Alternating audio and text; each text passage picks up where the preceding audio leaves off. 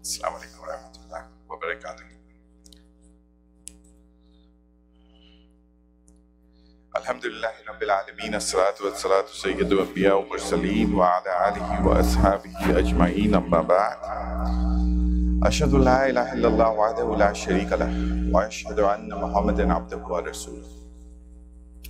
All praise to Allah subhanahu wa ta'ala who created all of us and brought us together. Uh, Allah is, is the Rahman, is the Rahim, is the Malik, He's the Quddus, He's Al Wakil. Last time we discussed the name of Allah subhanahu wa ta'ala, uh, Al Wakil, He's the one who manages, He's the one who, suffices, He's the one who controls everything. And the people who believe and who believe in Wakil is the uh, tawakkul. Those are the people who call. There are three levels of tawakkul that I want to remind myself uh, first.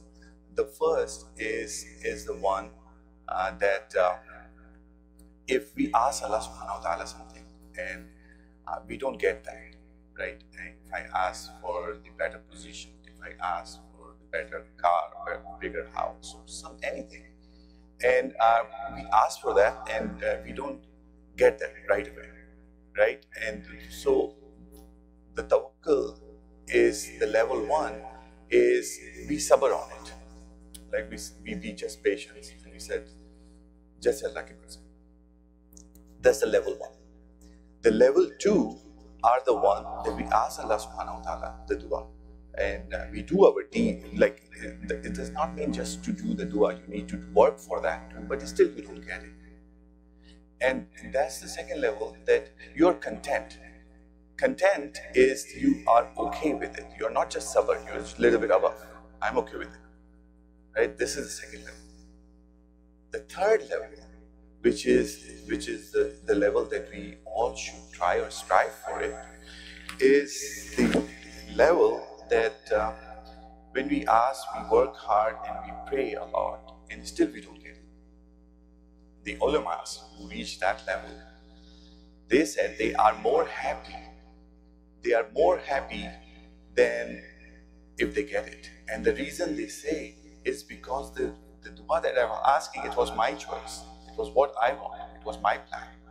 But the plan that Allah made and the choice that He made is always better than what I have. So that's why the level three is the one that we will try to achieve in tawakkul. That even though if we don't get it, let's suppose if I have the uh, store and I, I I want to have the good sale and like big production, and it happens, that's great. But even though on the days when it's not happen, we should be content and we should be trust on Allah that still I'm as happy as I had the hundred thousand dollar sale or the zero sale. That's the level three of tawakkul. Alhamdulillah, we are in the Zulhijj, uh, the month of the Zulhijj. Uh, it's it's uh, it's the ten best days of the year. Subhanallah, and uh, as we plan to like when we this is the graduation season, right? Every everybody get the invitation for the graduation, and I'm pretty sure we all had the graduation of our kids, and we plan for it for a, for a week or for a month. Uh, the weddings we plan for a week or a month. Uh, that's the same way we should be planning for our Zulhajj, the first 10 days. The first 10 days are the most important days of the year. And that's was uh, said by the Prophet Muhammad wasallam that has been mentioned in the Quran. Allah subhanahu wa ta'ala mentioned in uh, Surah Fajr, wal Fajr wal ashr means Allah subhanahu wa ta'ala swearing. He's saying that these 10 days, he's swearing by these 10 days. These 10 days, Prophet Muhammad mentioned why it is so important because in these 10 days, any deed, any good deeds that we do is most beloved to Allah subhanahu wa ta'ala in these 10 days other than any other days that we do. Prophet Muhammad used the word ahab, afzal, adam, like, eh, like the word that he not used in any other hadith. Like it's the most beloved to Allah subhanahu wa ta'ala. So any deed that we do in these 10 days, they are they are virtue, the level of virtue is very high. The third reason why this Zilhaj 10 days is, is very important is this is the month where the, our pillar of Islam is all pillars are together. Shahada we can do every day. Salah we can do every day. We can do zakat only in a certain period of time or you can divide it throughout the year. But uh, Roza or Siyam you can do in Ramadan. But this is only the month that you can do the Hajj. That's why these 10 days is very important because you're all pillars of Islam, pillars that you consider for any building for the stability, that pillars are all completed in this. The fourth reason is, is the Yom al Arafah is in this 10 days too. And the Yom Arafah is, is a great day for us, for, for the Abdullah, like Allah slaves ke liye, is because we can get away from the hell by asking the forgiveness to Allah subhanahu wa ta'ala. The, another important reason is in these 10 days, the most important day of the year is there. That is the Eid, Yom That is the most important day of the year. So, these 10 days, now we know the virtues, that how important it is. What should we do? And how we can maximize it, like, like investment, how can we use our time to get the most out of it? Before we do any, any uh, like before we go to the med school, before we do the, uh, any education that you want to go, you have some prerequisites you have to do it. So the most important prerequisite for any ibadah, uh, especially in the in this month, is to clean your heart. To make sure we have a clean heart when we go for the ibadah, when we start our uh, ibadah. It means we do not have any ill feelings about each other. Uh, more closer the relationship is, more responsibilities that we have. And there are times that you may have some ill feelings between the brothers, between the sisters, between your family. Clean it up. All it takes is just a call or the WhatsApp or the text. That Assalamu alaikum. I'm happy, I'm content, I'm good with you, and let's start new. That's it.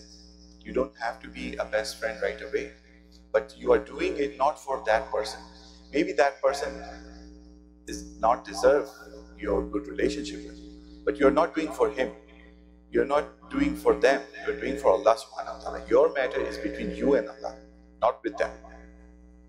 That's the prerequisite. That's the first thing we need to do. Because the Prophet Muhammad mentioned that like we know that every Monday and Thursday our amal goes to Allah subhanahu wa ta'ala. But let how do you feel when we work for the week or two weeks but we don't get paid? You get agitated, right? And the reason is not the employer fault, it's your that you did not fill up your paperwork. Well, we, we really, our bills messed up, a lot of problem can happen. Exactly the same. Our amal goes to Allah subhanahu wa ta'ala every Monday and Thursdays. But it's being hold for the people who do not have the good feeling among each other, who have the ill feeling among each other. So just clean it up because if you want to get paid for your whole week work, like we come in the Fajr, we come in the Isha, we do the Zikr and everything, but you don't get paid because we did not fill up the form. So make sure, clean it up. Just give the text, just call them, say, I'm okay, how are you? Just Assalamu alaikum. You don't need to even say, mention the previous things. Assalamu how are you doing? Inshallah, we'll talk soon. That's it. It's time. That, that is the most important thing that we there are a few other things that uh, we should be looking into and maximizing these 10 days. Is first is the salah, right? Uh, Alhamdulillah, uh, the people who pray the salah on time, that's a blessing. Uh, those who do not try to do that on time, uh, the people who are at home, the sisters, they, they can do it right when the salah happen, do it, make one place at the home dedicated as a musalla for them. So they can do that over there. Uh, the kids join the parents to the Jamaat if they cannot come to the masjid, but we should strive and try to be you know, in mosque, especially in the Fajr and in the Isha.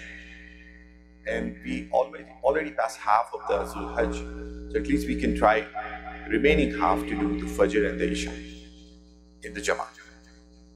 Not just the first, but the Sunnah also. Because it's a, a putsi that Allah subhanahu wa ta'ala, when it looks our deeds and say, okay, so namaz is there, but there is a void in, the, uh, in his namaz, how can we fill that void? And the only way we can fill the voids is by the accessories that we have with the sunnah or the nawafil. So don't neglect the sunnah. Try to try to be proactive. Try to be plan ahead and do the sunnah also.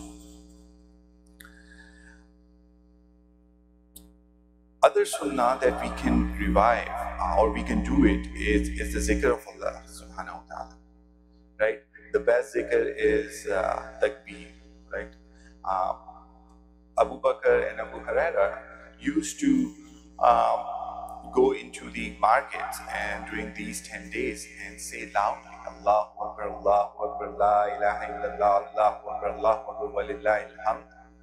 But we, at this time, we don't do that. So if you don't do it loud as a jama'ah, it's okay. As long as you're coming to the mosque and going out of the mosque, do most of the time.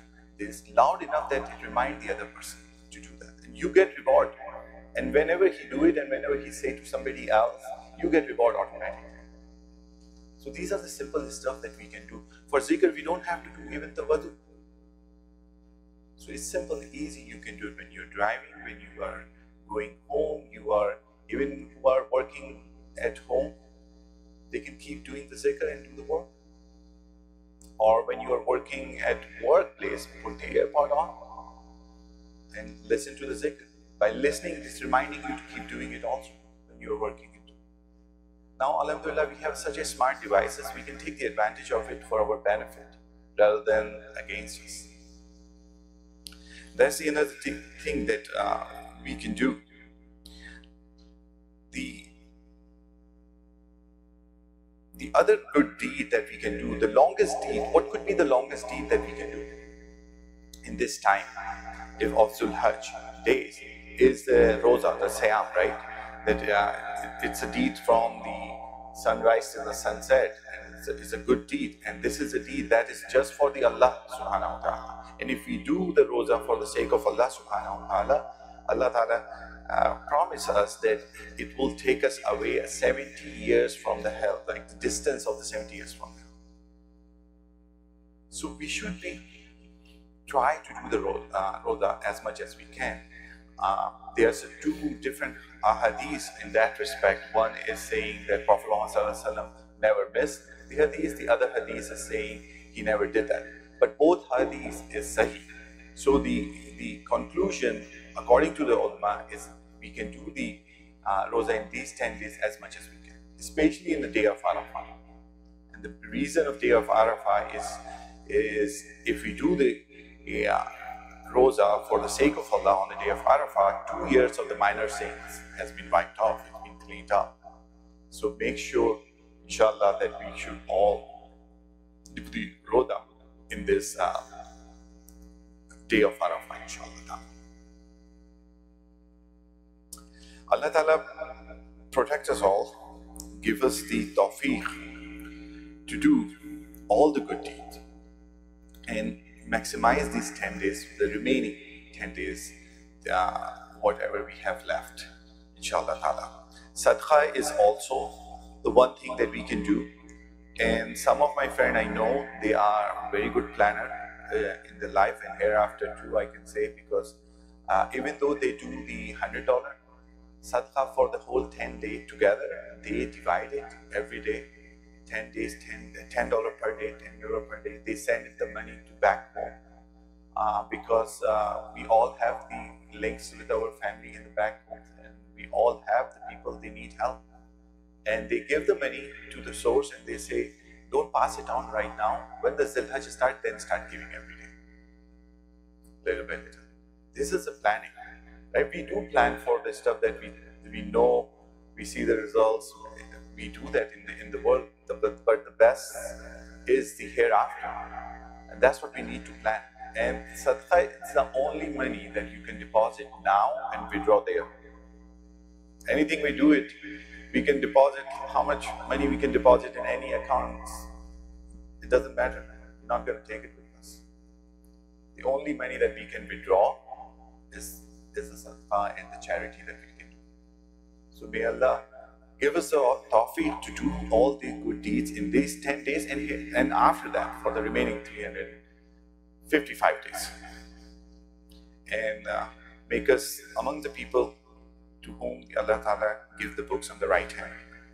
And uh, keep the love amongst us.